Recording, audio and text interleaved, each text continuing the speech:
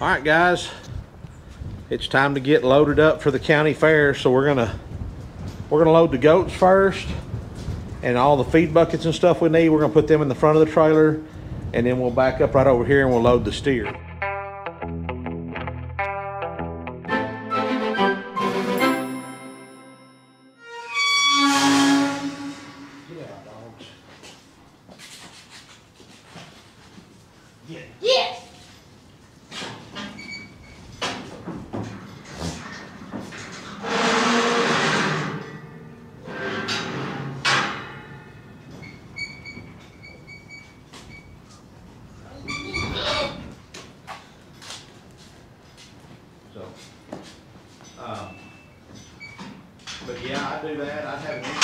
Issue not hunch, but yeah.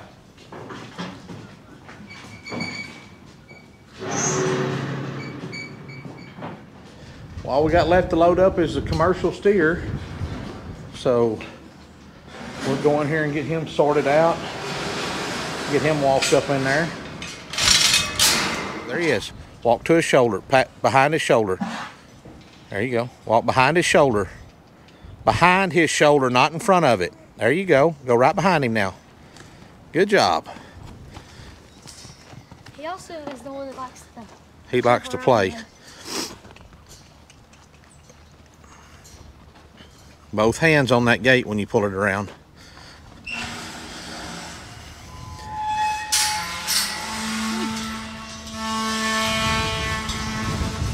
Hey, you have no leverage the closer you get to the. All right, go on up there and shut your gate on him. Keep your hand on that in case he kicks it. So guys, this is a good teaching moment for both you guys out there that may not know it and for clients. So hang on before you undo that. So anytime you go up behind a calf, whether you've got a hold of it, you're getting a trailer gate or it's a, a, a gate like this, it's hung on a post, you always get a hold of that gate for sure with one hand. Lots of times it's better to have two if you can get them on there because if you go up like this and that and you swing that gate and that calf kicks it, it comes right back, and you're not going to get your hand up there fast enough to stop it from hitting you in the face or um, anywhere else. So always keep a hand on it, and remember, the closer you are to the hinge side of it, the less leverage you have. So you always want to be out on the end of the gate to give yourself the most gives you the most strength to, to keep it from getting knocked back into you. And even if the cattle aren't kicking, just if they spin around and hit it, stop, bub if they spin around and hit it with all their body weight, they can knock that thing back into you. So if you've got your arms extended and you've got a good hold on it, it's less apt to come back and hit you. So y'all keep that in mind. So, um, well, we're to cut you off for now and we'll show you maybe, hopefully we got enough time and, and we remember when we get to the fairgrounds and we start unloading. But um, I'm to give you a little walkthrough of the trailer right here. Bub, let me by. All right. We got to go shut the steer pen back up. So.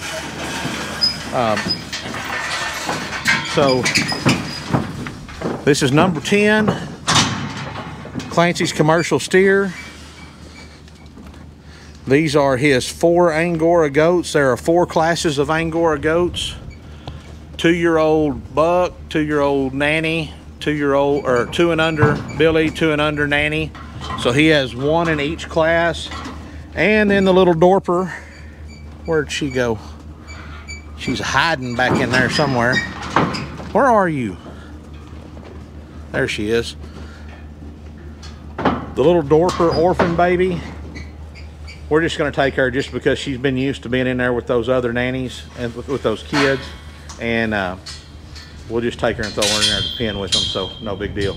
All right, guys. Thanks for coming along with us. We're fixing to head out. We got all of our feed loaded, everything ready to go. So we're to head to the county fair get them unloaded and get ready to show tomorrow. Go feed the goats.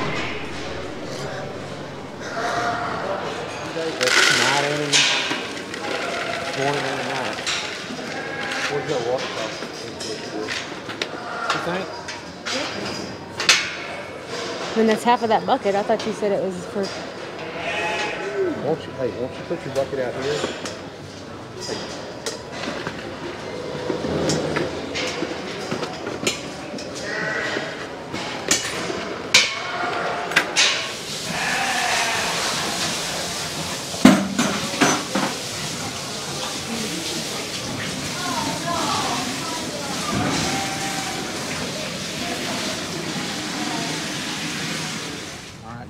there, Pete. You All probably right, need to so- button this button just because that shirt's trying to fall open on you. So No. Yes. No. you Yeah, look nice. Take a. Are you um nervous? She's interviewing. Are you nervous? No. No? Not really. Why not? Let's do this. Good. pre-interview before the interview. Pre-interview before the interview. Hey, listen, someday. Hey, let's take a picture. Kelly just wants to be all in the these. Kelly wants to take our Yeah. picture. Here, I would like to review this book. So this was The a top Wellborn 10 book Theater? in all of my bookie people I follow. Is it good? Uh, well, I'm not. I'm not very far into it. I'm Oh, okay. 100 pages. I like it so far, but I bought it sight unseen. Let me know how it Oh, yeah. goes. We're now ready for the commercial cattle exhibitors. Go ahead and come on into the. I thought there was a. I didn't realize it was open right there. Stand up. There you go. Bring in the commercial cattle. I'm good like that. I'm good like that. Oh, this is for the. You want to be on it? Erika. It's not funny. Fourth place belongs to Clancy Archie of Hay Valley 4-H. Hey y'all, it's Cody. Uh, so this is a couple of days after the county fair, and we forgot to kind of finish filming what was going on there in the ring, and we were kind of in a hurry because Clancy also had to show his Angora goats right after the announcement of what place he got. So as you saw in the video there, Clancy ended up fourth out of five, which is not where we wanted to be, but in reality, he improved his point, his score 15 points over the year before. So out of a possible 100 points, he scored 89 points. Um, the difference between the first place calf and the fifth place calf, or the grand champion in fifth place, was only a seven point difference. So the the grand champion calf, uh, the kid got 90, the girl got 95 points total, and the fifth place was 88. So not a huge difference there. So the race was pretty tight. Um, all the cattle were excellent.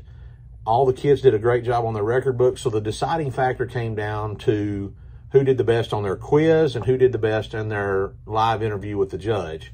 Um, Clancy did great on his interview. He got to 26 out of a possible 30 points. He missed two points on his quiz, and that just came from a rounding error. So um, during one of his calculations, I think it was on a feed cost calculation, he rounded too soon in the equation instead of running it all the way out and, and rounding at the very end. So that cost him two points. And you know, we can be like, well, that's just pretty nitpicky for a 14 year old, but there has to be a deciding factor between those kids. There has to be something that differentiates them to, to set them apart so that you can place them. And when it gets down to that point, when it's that close, I mean, just something as, as minor as a, a $2 you know, price figure, uh, rounding in the wrong spot and it, it changing your feed cost by two dollars, that that's where it had to come. So, um, super proud of him. He did a great job. Um, like I said, improved his score by 15 points over last year. That's awesome. His first year competing as a senior. So, I give kudos to all the kids. It was it was just a tough competition. I mean, it was the cattle were great. The kids did a great job, and we're ready for next year. We're going to practice harder and, and make sure we don't make those minor mistakes. Um, I would say a portion of the of his interview, he didn't get any questions wrong in the interview. There were just some things that he didn't explain fully, and I'm going to take the blame for that because when I look at it, you know, like like just say for instance, one of the questions that was maybe a three point question that he only got two points on was, what's the difference between a vaccine and an antibiotic? You know, and the way I I I kind of not dumbed it down, but made it made it easy for Clancy to remember is a vaccine prevents and protects, whereas a antibiotic treats. Well, that's the way you know that's the way I taught it to Clancy, and that's the way he learned it. You know, and the judge wanted a little more in depth into that. So wasn't that he got it wrong? He just didn't get all the points because he didn't answer it fully and it, quite as much as the judge was looking for. So just little things like that, guys, is all it is. And uh, I'm, like I said, super proud of him. All the kids did a great job, and uh, you know, hopefully we'll do a little bit better next year. But that, that's the way that's the way it year.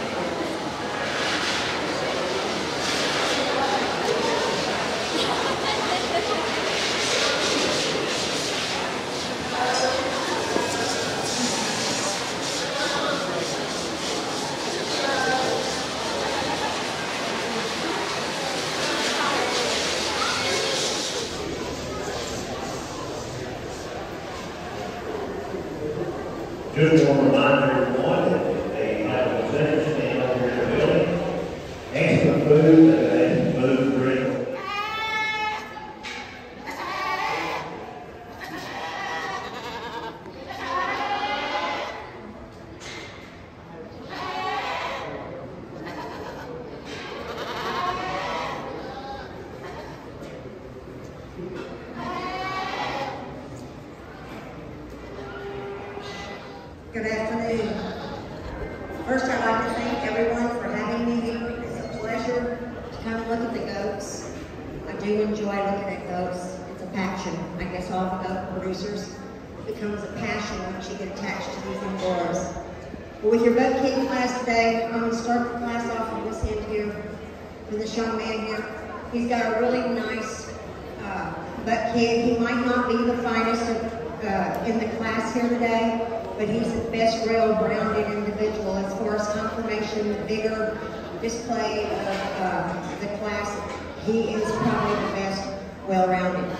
He's a little coarser than your second place kid. The finest kid is the second place kid. Uh, just doesn't have the scale of the, the body. Number, we have four entries.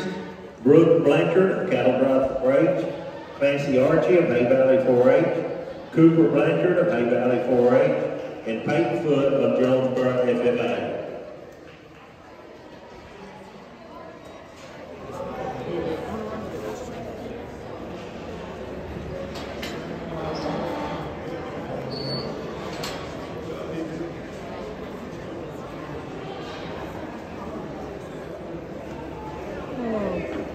I won't. I won't leave him when we're all leaving. I won't leave him. He scares me to death with his horns. You get on down to third, he just gives up. He's, he's not in the condition that the other two boys are up here in first and second. An extremely large, big butt, staple length not as long, uh, maybe not as uniform as the other boys in the front. This is a, a group of nice bucks out here. Uh, you got your buck kid over here. I've looked at him and looked at him. He's really a nice little buck kid. He's got a lot of string weight. Uh, I'd be willing to bet that he's probably going to shear as much or more than your yearling. He uh, is real thick sided, not flat sided, has spring rib. Uh, you hear me talk about spring rib a, a lot. Uh, and I, the reason I do is if you don't have the volume of the goat and you have the rib, you're not going to be able to raise any good bucks. But this little kid does show that spring rib, and it, and when you start showing in the shoulder circuit, there's the wether fraternity. When you start breeding for the wether fraternity, that's what you want right there. Uh, you want one that's got some spring rib, uh, some size, some scale, length between the front and back. Uh, but anyway, today for your champion, I'm going to use the Euro buck, the oak buck for the champion, and I will use the kid for the reserve.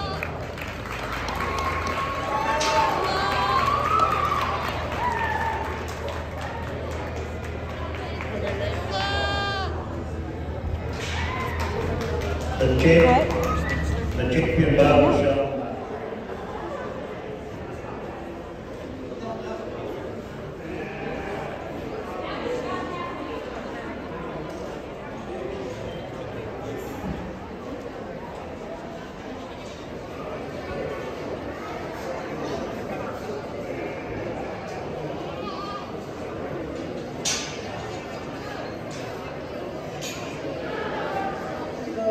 she's young. You get to the fourth place, has the shearing weight, but of course her bow. I used her above the small, fine kid from fifth.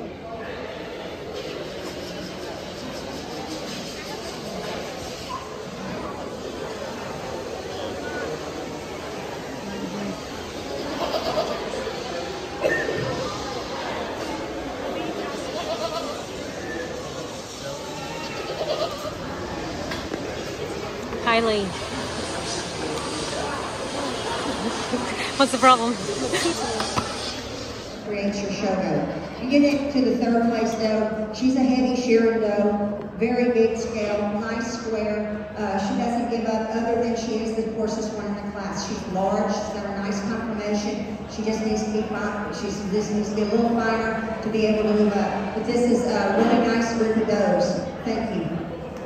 Keep moving away.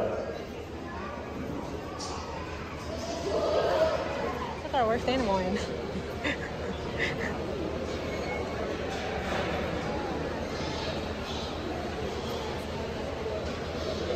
I've watched these kids all day long or for the last couple of hours, uh, working with their stock, how they're handling their stock in the ring, during the class, as well as the showmanship class.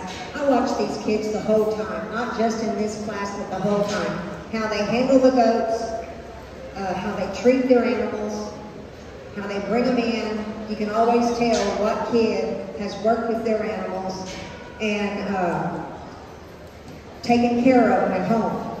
So, with that being said, the buckle today will go to the young man. Uh, he kept eye contact with me. He got on the right side of the goat, just got confused one time. Uh, and, and another thing, the young lady did real good. Eye contact, right side of the But you've got to be in control of your animal, be able to handle your animal. Have one picked out that you want to bring in here uh, for a showmanship class, since you have a showmanship class. At other shows, some shows, you don't have a separate class. We don't have a separate class at most of the shows that we put on for the youth. But it's all about how you care for your animal 100% of the time. In the ring, at home, in the alley, and I was watching. So I know who how the animals got treated by each and every one of you today because I watched the whole time. But job well done, you two. Just keep working on it. You're young, you're going to be good. The breeding sheep and the market lamb. So I guess it will depend on that when he wants to get this stuff started. We said approximately. We can swap it when we get later too. All right, guys.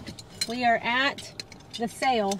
The county fair sale of champion. Whoops. And since it's we've been terrible at videoing and terrible at talking about what we're doing, I thought we would at least get on and say we're at the sale. And Clance is looking sharp. He's gonna go up there. We brought a cinnamon roll cake to give our buyer and hope he does well tonight. So our sale is uh, not a terminal sale, meaning that it the kids that sell animals, like Clancy's gonna sell his reserve champion Angora Billy Goat, the buyer does not get his animal. They just get basically it's just a donation to the kid. Now, if you have a home economics project that you're selling, the buyer does get that, but not the animals. So, So we always give a buyer's gift so that they get something. so here's the Buckle Clancy one. I don't know if y'all can see that very well for his reserve. This is for showmanship. And then where's your buckle for reserve?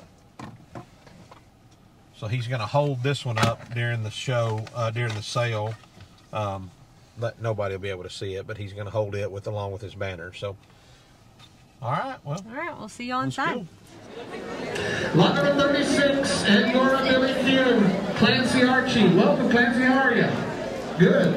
All right, Hay Valley, here we go. Somebody said it in on the Angora Billy Goat. $500. Hey, look at five. Thank you. 600 700 Everybody say, everybody said no. Eight, look at eight, look at nine, look at nine, look at nine, look at ten, dollar, look at eleven hundred, look at twelve hundred, look at twelve, thirteen, look at thirteen hundred, twelve, thirteen, twelve, thirteen. I think thirteen hundred. Is that fourteen? Here we go, fourteen hundred. Thirteen, fourteen. Here we go, fourteen, here we go, fourteen, here we go, fourteen, thirteen, fourteen, thirteen, fourteen. Maybe we're going to fourteen hundred.